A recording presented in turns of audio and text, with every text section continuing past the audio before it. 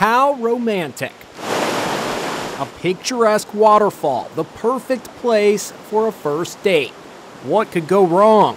How could such a magical location turn into what's being called the worst first date ever? Just ask Jordan Barrett and Zania Robinson. They met when they were standing in line at a convenience store in Georgia. He asked her out on a date. We made it to this beautiful waterfall. We were about to leave, and it just started to rain. They started slipping on the wet rocks. We were both like struggling to stop, but he was able to catch himself, and I slid right past him. They plummeted 40 feet.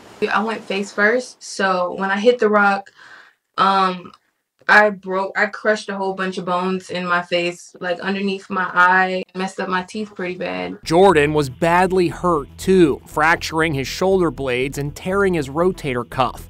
Rushed to the hospital, they healed side by side, and pretty quickly it turned into a love connection, despite that disastrous first date.